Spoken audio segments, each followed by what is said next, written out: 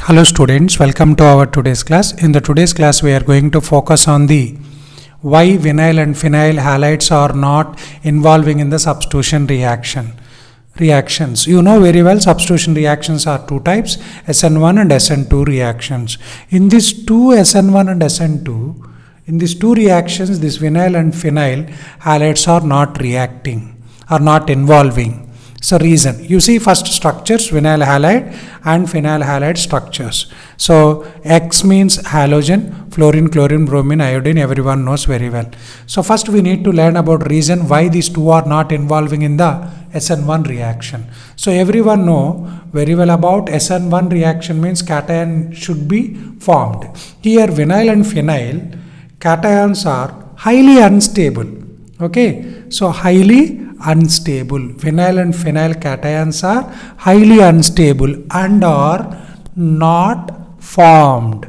Have you got it logic here? You see? So SN1 reaction, anything want to involve, they should form cations, stable cations. But these are not forming stable cations and cations are not forming. So that's why these two are unable to involve in the SN1 reaction. Okay, sir? These are not involving in the SN1 okay. So simply I am writing conclusion. They cannot undergo SN1 reaction because cations are highly unstable and they are not forming cations. That's why SN1 is not possible. Clear? Okay sir it's not possible. SN1 is not possible. Why not SN2 why not SN2 why these are not involving in the SN2 reaction?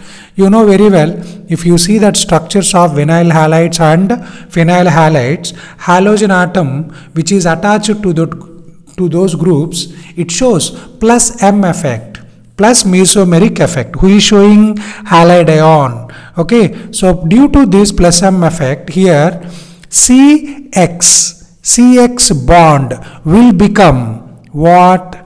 Partially double bond okay? So cx how many bonds are there between that? Only single bond. But due to the plus m effect of halide ion that is becoming what? Single bond partially becoming double bond. Then system repels the nucleophile. Okay? System repels the nucleophile.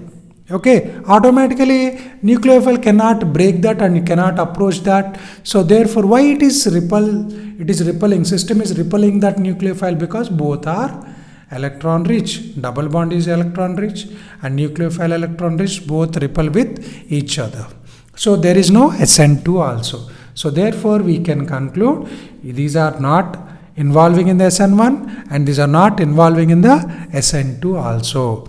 So just I will give you one example for this. Example means I am taking vinyl chloride. I am taking vinyl chloride. So vinyl chloride if you take due to plus M effect the lone pair is coming towards this side and these pi electrons moving towards that side. Vinylic chloride I am taking. Okay.